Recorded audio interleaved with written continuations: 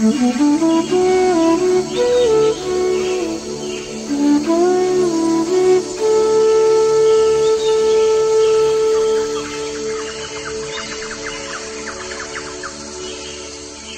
जिसको आप बोल रहे हो कि कोई परमात्मा ने आपकी डेस्टिनी लिख दी और वो सब चला रहा है और आप उसके मुताबिक जी रहे हो एक्चुअली ऐसा है नहीं। एक्चुअली आपके एक्यूमुलेटेड कॉजेज के इफेक्ट्स से आप जी रहे हो। So what you are saying is that I am happy being slave of my past karmas I am happy being slave of all my conditionings मुझे बचपन में सोसाइटी ने स्कूल में माता पिता ने जैसी कंडीशनिंग दी। और पुराने कर्मों ने जैसी कंडीशनिंग मुझे दी। I am very happy living my life with that conditioning because now there is no responsibility on me और इसको रादर मैं अपनी कंडीशनिंग मानने के बजाय, मैं इसको डेस्टिनी का नाम दे रहा हूँ कि परमात्मा की मर्ज़ी है। I you understanding what I am saying but actually it's all the cause and effect ये आप ही का, आप ही के बोए हुए बीज हैं जिसके आज आप फल खा रहे हो। जो बुद्धा ने बोला, धम्मम शरणम गच्छामी been the refuge of the dhamma. What is dhamma? Dhamma is nothing but the law and what is the law law is simple cause and effect so समझ लो कि पिछले कुछ वर्ष, पिछले कुछ जीवनों में मैं I led a certain kind of life और वो कर्माज एक्यूमुलेट होते जा रहे हैं। वो कॉजेज एक्यूमुलेट होते जा रहे हैं। When I come into this life, those causes start to create effect. Good और बैड वट एवर बट वो सारे कॉजेज एक इफ़ेक्ट क्रिएट करने लग जाते हैं मेरे जीवन में जिसको मैं डेस्टिनी मानता हूँ। इस जीवन का एग्ज़ाम्पल लेते हैं।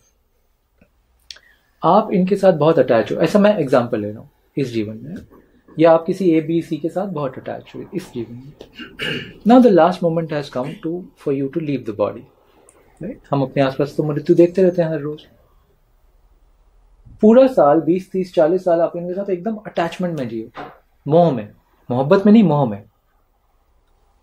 राइट डिफरेंस है ना? लव और अटैचमेंट में तो बहुत अंतर है तो आप अटैचमेंट में जिए इनके साथ हमेशा। अब जब आपने शरीर छोड़ा और आप जब नेक्स्ट टाइम आओगे तो आप इस अटैचमेंट की ऊर्जा को ही साथ लेके आओगे ना। सडनली कुछ चेंज तो हो नहीं जाएगा। यही अटैचमेंट की ऊर्जा आपसे एक सोल प्लान लिखवाएगी। कि अगले जन्म में इनको मेरा बेटा, भाई, बहू, पति, पत्नी बना के भेजना। राइट और नॉट ये जो आप सोल प्लान बनाओगे इनके साथ, वो आपकी उसी डीप रूटेड अटैचमेंट की वजह से तो बना के आओगे आप। फिर नेक्स्ट जीवन लोगे। फिर वही मिलेंगे आपको किसी ना किसी फॉर्म में। फिर उनके साथ कॉन्टिन्यूटी रहेगी। इसी को तो चौरासी का हमने फेर बोला कि फिर इससे तो निकल ही नहीं सकते हम कभी। ये तो अनंत हो गई बात। इसीलिए हमने चौरासी लाख योनियों का वर्णन किया स्क्रिप्चर्स में कि इस कहानी से तो निकल ही नहीं सकते कभी बाहर यार।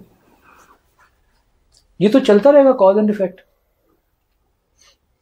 तभी सनातन धर्म में या या ईस्टर्न कल्चर में हमने एक शब्द की बात की, मोक्ष। निर्वाण की बात की।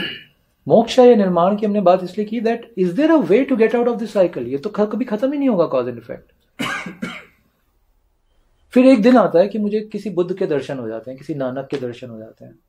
और मेरे अंदर जो मैं हूँ रियल बियॉन्ड ऑल कंडीशनिंग वो जाग जाता है। और वो बोलता है, नहीं नहीं यार this needs to be broken उस दिन से आप सब चीज़ों की विरुद्धि करके first time free will execute करते हो। First time you for the very first time in your life you start to execute something called free will and as i said the power of free will in this moment is much more stronger than all the accumulations. एक वार से वो आप सारी चीज़ें पुरानी काट सकते हो।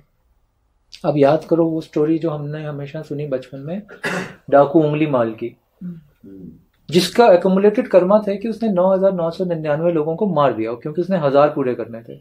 अब एक्यूमुलेटेड कर्मा देखो कितना स्ट्रांग है उसका राइट एक एक्सीडेंट होता है उसके जीवन में जिसको मैं एक्सीडेंट बोल रहा हूँ बट जो कि अपॉर्चुनिटीज़ हैं हम सबके जीवन में आती हैं, कि बुद्ध आ जाते हैं उसके सामने, उस रास्ते पे।